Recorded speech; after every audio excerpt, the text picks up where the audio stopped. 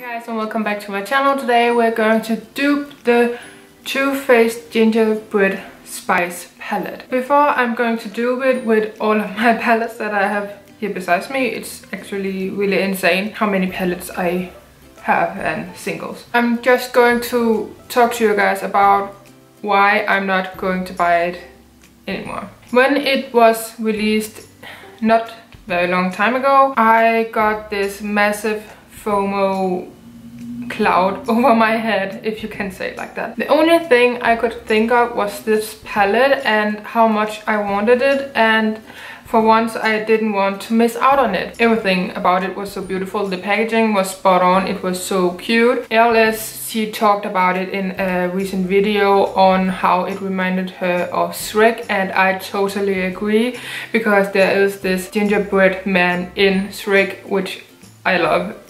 He, he's so adorable and fun. So of course I showed Amanda it because I show her everything that I will want uh, makeup wise and she just told me that she duped it. I knew straight away it was a Clone Wars video so Amanda and Jessica duped it with their shadows and I went ahead and duped it with my collection and as they mentioned in their videos it's not a exact exact dupe because they don't own it. I don't own it, I just went with the pictures that I could find on the internet.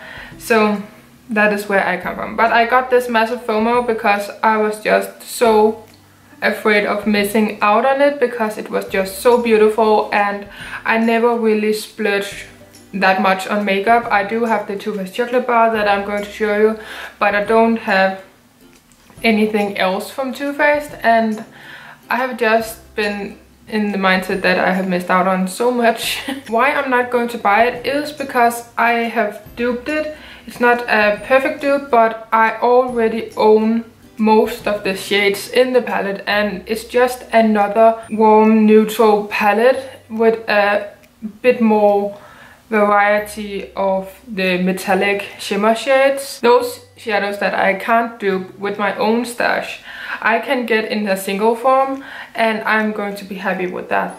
But right now, I really don't need it, but it's especially that gold olive green shade kind of that is in the palette that is so unique and I don't really have any green olive shades that is that metallic. Some of the shades I just find very unique but I'm pretty sure there are singles out there that can dupe those few shadows that I can't make perfect in my swatches when I do that in a minute. It's basically just a new warm palette out there with a little bit of variety and a different packaging I just need to say that to myself and you don't miss out on it because they will not add any value to your collection anyway. I haven't done a dupe video on my channel before but I was really inspired about this palette because I wanted it so much at that time when it was released. And before I ramble way too much, um, I think we should just get on with the duping and swatching on my arm. I will have the palette on the screen a picture of it so you can see what shades and stuff I'm going to talk about. So the first shadow is called Powdered Sugar and that is just a matte beigey white shade I would use to set my primer. And I'm going in with uh, oh my god this is so it's just so beaten up that makes me so sad. I just realized that. But it is a palette from Nilens Jord. It is a Danish brand. And this is called Ice Eyeshadow Symphony number 3. This was limited edition last year, last Christmas. And I'm going in with this shade. So that is the first shade, Powdered Sugar.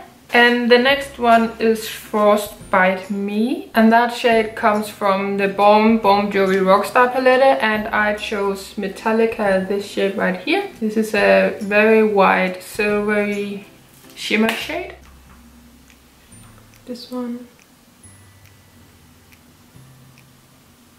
And then we have Sugar Daddy and that is more of a pinky cream shade and I chose a Franken shadow that I actually have done in my Too Faced chocolate bar and that is a mixture of white chocolate and um, strawberry bonbon. So if I haven't repressed white chocolate and strawberry bonbon together, I would just have chosen strawberry bonbon.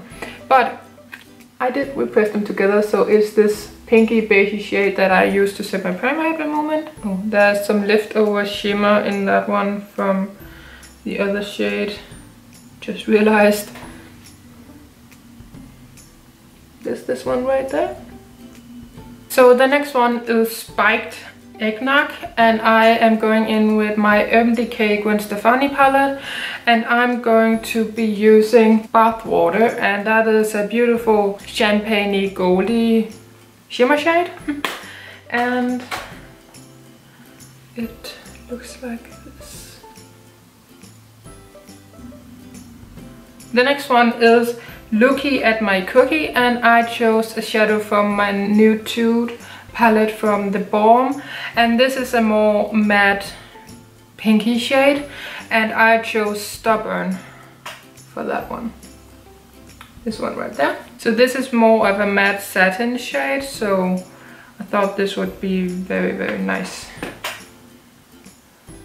Very very pale so these are some shades that you can definitely find in your collection. The next one is from my Z palette and that is going to be a dupe for the Figgy Pudding and that is kind of a satin satin matte as well. And I have Makeup Geek Anarchy. This one this is such a beautiful shade. I love it. That one right there. And in the picture here I have it's more it's a little bit darker and a little bit more purple but yeah it's okay. I think it is a very good match in the pan though so. That is that? Then we have the third row and and there is this bright pink shade. It is called gumdrop and I'm going in with my NYX Ultimate Shadow Palette uh, in Brights I'm of course taking this shade right there, the bright pink one. Look at it. So beautiful. These needs a little bit building up, but there's a bright pink one. So yeah. Then we have Spice is Nice. It comes from my Morphe 35 OM palette. And I was really torn in which orange I was supposed to pick but I went with this one right there okay this is kind of light isn't it if I needed a perfect orange shade from that palette it would be probably be that one but I would maybe mix some shades from this palette to make the exact dupe but I'm not going to do that today. Then we have Hot Toddy and that is a beautiful kind of dupe from type of pinky purple shade which is so beautiful but I don't have anything exact. I'm going in with W7 Dusk Till Dawn palette and I'm going to go in with this shade right there which is called Mojave or something. This is a beautiful shimmery purple that I thought could be a really nice dupe. This is kind of powdery. It's beautiful, more beautiful on the eye though. Damn it. This one. Right there, can you see it? So beautiful. For gingerbread, I'm going in with my W7 Life's a Peach one. Maybe I could have taken the Morphe one, but I didn't.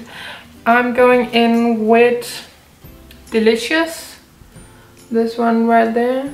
This one brown there. There. This orange could have been more bright when I look at the new picture, but I didn't. I just needed to go get some cleansing water or something to clean up my fingers. then we have Oh Snap and that is a very very beautiful champagne color. It's a little bit darker than Spiked Eggnog. And again we are going in with the Dusk Till Dawn palette by W7 and because it's more pinky I'm going in with the shade called Wilderness that one right there.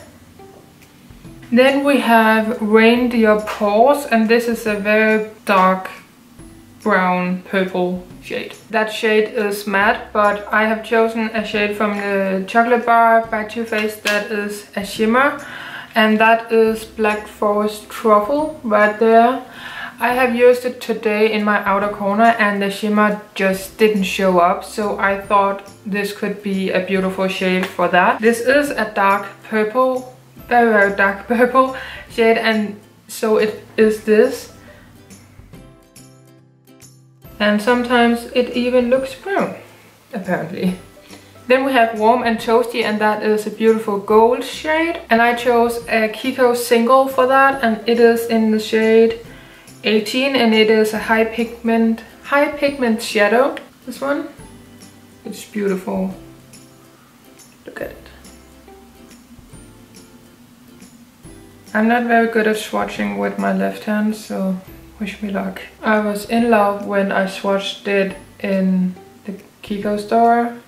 I'm just even more in love now. And then we have Bake It Till You Make It, which is a beautiful burgundy shimmer. I'm actually going to dig into my Too Faced chocolate bar again and I'm going to pick Amaretto right there. This is a little, little bit darker than in the palette, but it is a beautiful maroon shimmer shade. I need some more cleansing water.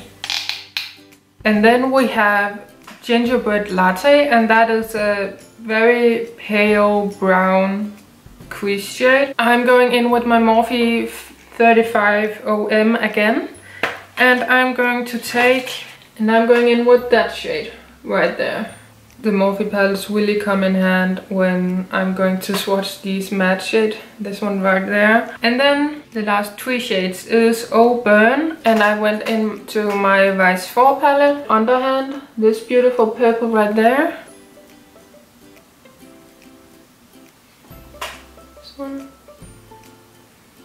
And then we have Spice of Life, which were the more goldy olive green shade that I was really really drawn to just because in the Too Faced chocolate bar there was gilded ganache and that is just a brown, a muddy brown.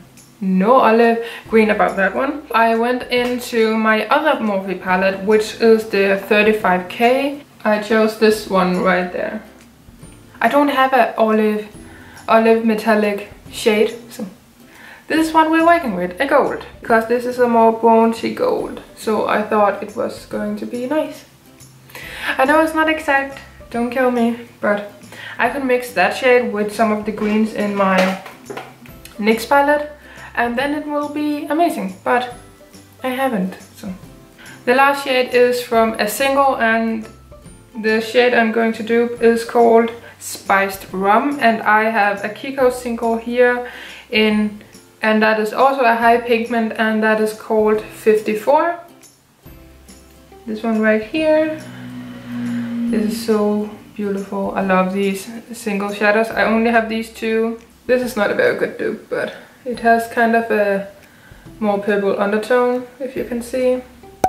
This is my Too Faced Gingerbread Spice dupe palette i'm very excited about it because i actually think this is a very nice dupe um, I'm just shopping my stash and I can definitely recommend doing that because you really don't need another warm tone palette. And as you can see in all of these palettes that I have swatched today I have so many neutrals. So it doesn't really matter. And I have a lot a lot of warm neutrals. I don't need another palette honestly I have so many palettes and so many shadows and I don't go through them fast enough to justify me buying so many more. So this is what I am working with. I hope you guys enjoyed this video. Please make sure to like this video if you did, subscribe down below so don't miss out on any other videos. And please check out the Clone Wars that Amanda and Jessica did down in the description box, which is great. And I'm going to do that so much more often now. But yeah, this is my first attempt of doing a palette. So until my next video, please take care of yourself and I will see you then. Bye!